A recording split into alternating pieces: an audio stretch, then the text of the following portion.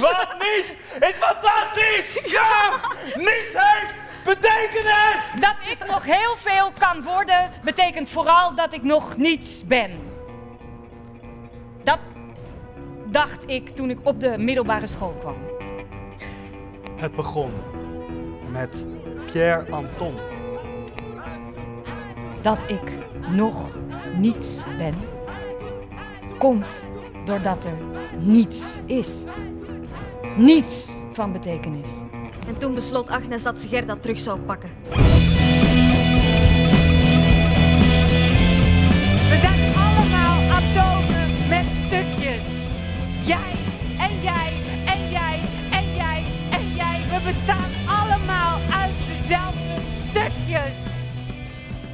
Niet geschikt voor kinderen. Niet geschikt voor pubers. Niet geschikt voor leraren. Of andere volwassenen.